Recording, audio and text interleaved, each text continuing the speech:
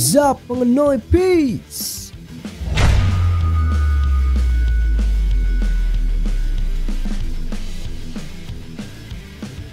Lahat ng labing apat na Pinoy na nakalaban ni John Ray Casimero ay tinalo niyang lahat. Maliban na lang sa nag-iisang Pinoy na tumalo sa kanya. Yan ay si Jonas One Punch Sultan. Gaano nga ba kagaling si Jonas Sultan? Alamin natin yan. Pero bago yan, huwag kalimutang i-like ang video ito. Maraming salamat mga boss. Ang heavy puncher na taga Zamboanga del Norte na si Jonas ay nagkaroon na ng pagkakataon para sana sa isang belt. Pero tinalo nga siya ng kapwa Pinoy na si Jerwin noong 2018 para sa IBF Super Flyweight title.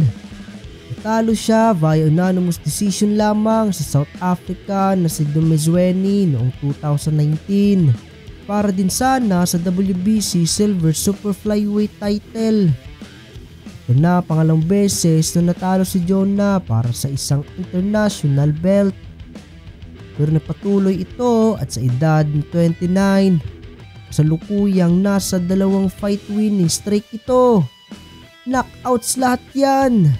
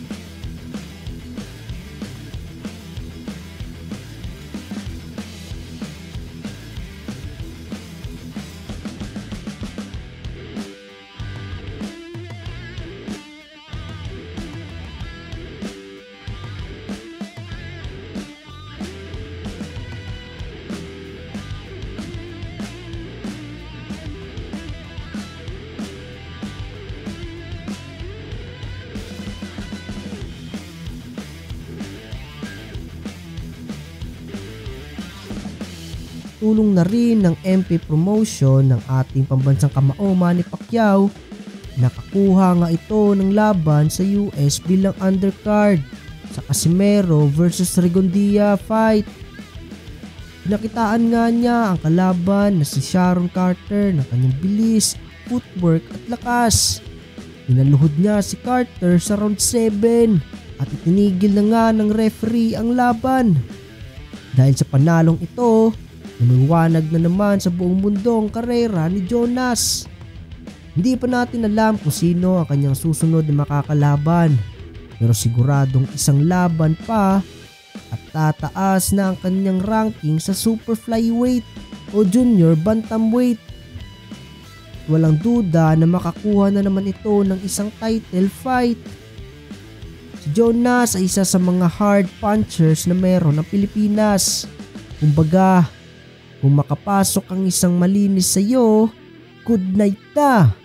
Pero syempre, kailangan gumamit ng karagdagang strategiya ni Jonah pagdating sa high level ng mga kalaban. Lalong-lalo na doon sa may mga may high technical boxing skills. Pero syempre, bilib talaga tayo sa lakas noipi ni Jonas. Naniniwala kami sa iyo, Jonas. Laban lang. Mabuhay ang Pilipino! O mga Noy Peace! Bilib ka ba sa galing ni Jonas Sultan? Post, comments below, like and share this video.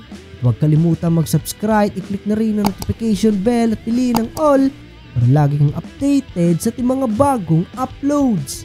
Maraming salamat sa suporta!